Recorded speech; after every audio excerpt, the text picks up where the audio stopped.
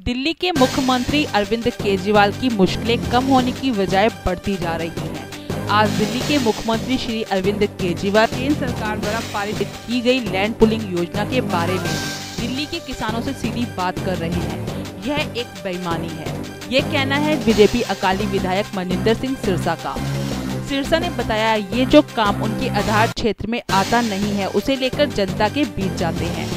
मगर वो काम नहीं करते जो वादा कर दिल्ली के मुख्यमंत्री बने थे कहाँ है सीसीटीवी कैमरे कहाँ है बसों में मार्शल कहाँ है फ्री वाईफाई कहाँ हुई डीटीसी के मार्शल की तैनाती जो वादे दिल्ली की जनता से किए हैं पहले वो तो पूरे करो ये कहना है मनिंदर सिंह सिरसा का ਜਿਹੜੇ 25 ਲੱਖ ਮਕਾਨਾਂ ਦੀ ਉਹ ਗੱਲ ਕਰਦੇ ਨੇ ਕੇਂਦਰ ਸਰਕਾਰ ਦੀ ਲੈਂਡ ਪੂਲਿੰਗ ਦੀ ਇਹ ਪਾਲਿਸੀ ਆ ਉਹ ਚ ਕੇਜਰੀਵਾਲ ਦਾ ਕੋਈ ਲੈਣ ਦੇਣ ਨਹੀਂ ਪਹਿਲੀ ਗੱਲ ਉਸ ਨੂੰ ਝੂਠ ਬੋਲਣ ਦੀ ਇੱਕ ਬਿਮਾਰੀ ਆ ਉਸ ਬਿਮਾਰੀ ਤੋਂ ਗ੍ਰਸਤ ਆਓ, ਹਮੇਸ਼ਾ ਝੂਠ ਹੀ ਬੋਲਦੇ ਨੇ। ਕੇਂਦਰ ਸਰਕਾਰ ਅਰਬਨ ਡਿਵੈਲਪਮੈਂਟ ਮਿਨਿਸਟਰੀ ਨੇ ਇੱਕ ਲੈਂਡ ਪੁਲਿੰਗ ਦੀ ਪਾਲਿਸੀ ਲੈ ਕੇ ਆਂਦੀ, ਜਿਹਦੇ ਤਹਿਤ ਲਗਭਗ ਦਿੱਲੀ ਅੰਦਰ 25 ਲੱਖ ਮਕਾਨ ਬਣਨਗੇ। ਕਦੋਂ ਬਣਨਗੇ? ਕੌਣ ਬਣਾਊਗਾ? ਬਿਲਡਰ ਖੁਦ ਬਣਾਉਣਗੇ।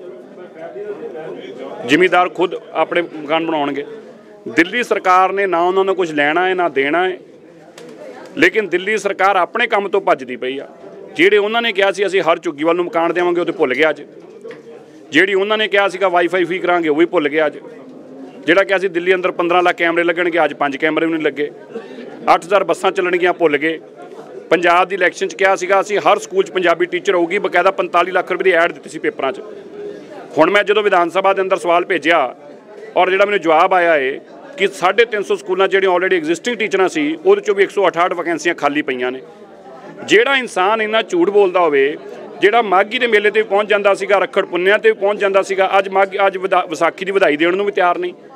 ਇਹ ਲੋਕ ਕੇਵਲ ਸੱਤਿਆ ਥਿਆਉਣ ਲਈ ਆਏ ਸੀ, ਅੱਜ ਵੀ ਇਹਨਾਂ ਦੇ ਮਕਸਦ ਮਨ 'ਚ ਉਹੀ ਲੋਭ ਔਰ ਲਾਲਚ ਹੈ ਸੋਚਦੇ ਪਏ ਨੇ ਕਿਸੇ ਨਾ ਕਿਸੇ ਤਰੀਕੇ ਅਸੀਂ ਸੱਤਾ 'ਚ ਰਹਿ ਜਾਈਏ, ਪਰ ਲੋਕਾਂ ਨੇ ਮਨ ਬਣਾ ਲਿਆ, ਜਿੰਨਾ ਮਰਜ਼ੀ ਈਵੀਐਮ ਤੇ ਤੋਂ ਝੂਠ ਬੋਲਣ ਦੀ ਕੋਸ਼ਿਸ਼ ਕਰਨ, ਲੋਕਾਂ ਨੇ ਜ਼ਮਾਨ ਜ਼ਬਤ ਕਰਾਈ ਆ, ਜਿਹੜੇ ਲੋਕ ਕਰੋੜ ਕਰੋੜ ਰੁਪਏ ਦੇ ਸਮੋਸੇ ਖਾਣਗੇ, ਜਿਹੜੇ ਲੋਕ 18000 ਦੀ ਪਲੇਟ 'ਚ ਖਾਣਾ ਖਾਣਗੇ ਉਹ ਲੋਕਾਂ ਦੀ ਕਦੀ ਵੀ ਨਾ ਸਿਆਸੀ ਜੀਵਨ ਕਾਮਯਾਬ ਹੋ ਸਕਦਾ, ਨਾ ਲੋਕ ਉਹਨਾਂ ਨੂੰ ਐਸੇ ਲੋਕਾਂ ਨੂੰ ਕਦੀ ਮੂੰਹ ਲਾਉਣਗੇ। ਉਹਨਾਂ ਨੂੰ ਇਹ ਲੱਗਦਾ ਹੈ ਕਿ ਜਿਹੜਾ ਮੀਡੀਆ ਏ, ਉੱਥੇ ਕੋਈ ਨਾ ਕੋਈ ਹਰਕਤਾਂ ਹੋਣਗੀਆਂ। ਫਿਰ ਕੇਜਰੀਵਾਲ ਨੂੰ ਕੋਈ ਚਪੇੜ ਮਾਰੂਗਾ, ਆਖਰ ਚਪੇੜਾ ਖਾਣ ਦੀ ਤੇ ਕੇਜਰੀਵਾਲ ਜੀ ਨੂੰ ਆਦਤ ਹੀ ਬਣ ਚੁੱਕੀ, ਸ਼ੌਂਕ ਵੀ ਪੈ ਚੁੱਕਿਆ।